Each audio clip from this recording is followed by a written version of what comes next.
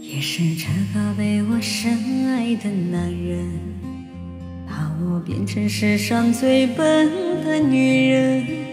他说的每句话我都会当真。他说最爱我的唇，我的要求并不高，待我像从前一样好。可是有一天你说了同样的话，把别人拥入怀抱。你身上有他的香水味，是我鼻子发的罪，不该嗅到